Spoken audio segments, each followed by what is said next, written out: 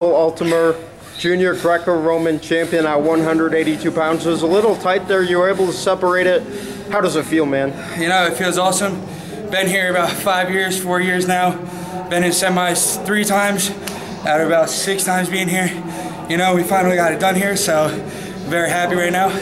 Yeah, so I, uh, you know, the match was kind of close there at the beginning. You were able to get to your offense. You were able to separate the score, get the tech. Uh, what were the keys for you in, in, in, that scenario? You know, I knew he was going to come out hard, trying to get to his arms, trying to get to his underhooks. And I could tell in the beginning of the match, he's going to the opposite side of what I'm comfortable with. But during the match, I started to adjust to it. Mm-hmm. And I knew exactly what he was going to do, come out very strong. And the number one thing about me is I like to stay patient during the matches. Right. So that helped me at the end, just waiting for him to come at me. Because once I got the score on him, he started attacking more.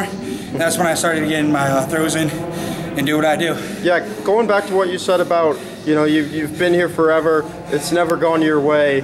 Uh, what lessons did you learn from, from, from, uh, from those tournaments? You know, uh, one lesson I learned is to stay very calm when you're going into the finals. Because every time I go in the finals, usually, I psych myself out. That's happened in numerous tournaments. But lately, I've been just very calm, thinking to myself, not I'll psych myself and you know just getting it done. But this time you didn't psych yourself out. You stayed patient, and yep. you're a national champion. Yep, exactly. I'm just kind of curious about high school. I, I, I know that uh, your high school, uh, Minisink Valley High School. I mean, a lot of recruits there. PJ Duke, the Macaluso sisters, Zach Ryder. Mm-hmm. Uh, what's going on there? You know, it's a very good program. You know, when you got good athletes coming out of there, more athletes want to go there and join the school.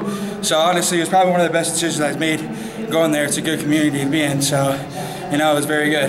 Speaking of decisions, you're you're a full-on Greco guy now. Yeah. You're going to Northern Michigan. Uh, you're going to Northern Michigan, the regional training site. Uh, how excited are you for to how, how excited are you to be a Wildcat? Uh, I'm very excited. You know, Coach Beasley's a very good coach. You know, and I'm not even at my potential yet of Greco wrestling. And honestly, I just started getting, I just started going. So once I get there, I think I'm going to jump up a lot of levels and be at the world level. You said you just started going Greco, right?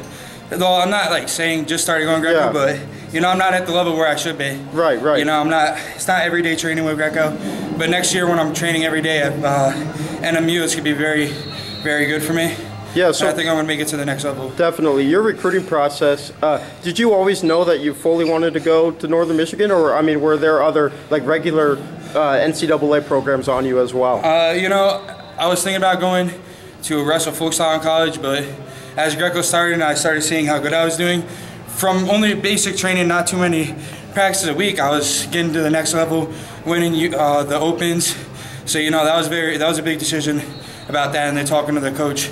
So, you know, I think that's where I should be. Yeah, definitely. Michael Altomer, Greco-Roman, junior Greco-Roman champion at 182 pounds. You're headed to Northern Michigan. Congratulations. Thank you. Appreciate it.